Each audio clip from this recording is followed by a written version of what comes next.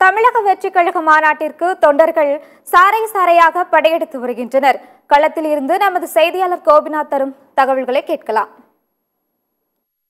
தமிழக வெற்றி கழகத்தின் மாநில மாநாடு இங்கு விக்கிரவாண்டி வி சாலையில் நடைபெற உள்ளது இதற்கான தொண்டர்கள் அதிக அளவில் இங்கே குவிந்துள்ளாங்க காலை முதலே வந்து பல்வேறு வாகனங்களில் வந்து பல்வேறு மாவட்டங்கள் வந்து தமிழகம் முழுவதும் இங்கே வந்து மாநாட்டு திடலுக்கு வந்திருக்காங்க. இந்த மாநாட்டு திடலில் ஏராளமான வந்திருக்காங்க. தொடர்ந்து இப்போ தற்பொழுது வந்து அதிக வெயில் காரணமாக ஒரு சிலர் வந்து மயங்கி விழும் நிலை ஏற்பட்டுள்ளது. உடனடியாக அவர் ஆம்புலன்ஸ் மூலயமாக தற்பொழுது மருத்துவமனைக்கு கொண்டு செல்லும் பணியிலையும் வந்து ஈடுபட்டிருக்காங்க. வெளி மாவட்டத்திலேருந்து பல்வேறு இடங்கள்லேருந்து விஜய் தொண்டர்கள் வந்து வந்திருக்காங்க. இப்போ இது குறித்து அவங்கள்ட்ட கேட்போம் நம்ம. ஏன் எங்கேருந்து வந்திருக்கீங்க? என்ன வந்து? சார் நான் வந்து தருமபுரி மாவட்டம் பாலக்கோடு ஒன்றியம். என் பேர் வந்து ரவி. முதல் ரசிகனாக இருந்தேன்.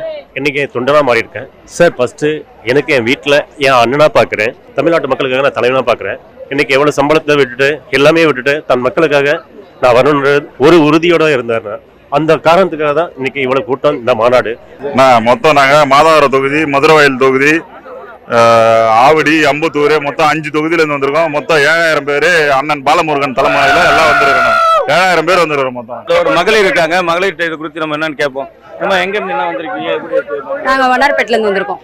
ஆர்ப்பாட்டமா இருக்கு மக்களமா இருக்கு. அடுத்த முதல்வர்லாம் இல்ல. எங்க முதல்வர் இப்போ இவர்தான். முதலமைச்சர் விஜய் தான் ரொம்ப இந்த மாதிரி நான் வந்ததே இல்லை. இதான் ஃபர்ஸ்ட் டைம் அவர் முதல்வரா ஆகணும். அவர் ஆகிறத நாங்க பாக்கணும் தொடர்ந்து பாத்தீங்கன்னா இப்ப நிறைய தொண்டர்களுக்கு நம்மகிட்ட வந்து அவங்க கருத்துக்களை பகிர்ந்து கொண்டாங்க. தொடர்ந்து வந்து கிட்டத்தட்ட வந்து ஏராளமானவர் வந்து வந்து இந்த மாநாட்டு திடலுக்கு வந்திருக்காங்க. தற்பொழுது அனைத்து வசதிகளும் அவர்களுக்கு செஞ்சு கொடுத்துருக்காங்க. சில மாநாட்டில் வந்து விஜய் என்னென்ன பேச போகிறார் என்ற அவளுடன் வந்து பொதுமக்கள் மற்றும் தொண்டர்கள் வந்து நீண்ட ஒரு நீண்ட நேரமாக கடும் வெயிலையும் பொருட்படுத்தாமல் காத்து கொண்டிருக்கின்றனர் சத்தியம் செயலுக்காக விழுப்புரத்திலிருந்து எஸ் கோபினார்